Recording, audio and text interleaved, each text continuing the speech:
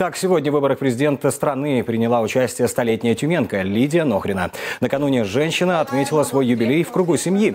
Представители избирательной комиссии пришли к юбилярше домой. Долгожительница – ветеран труда. У нее четверо детей, семеро внуков и шесть правнуков. Проголосовала пенсионерка вместе с дочерью. Со слов близких, женщина всегда занимала активную гражданскую позицию и принимала участие во всех выборах. Деревня тоже голосовали, так на конях ездили, все. Хорошо было. Надо выбирать. Мы ведь тоже тут голосуем же. Надо же выбирать. Всегда приезжают.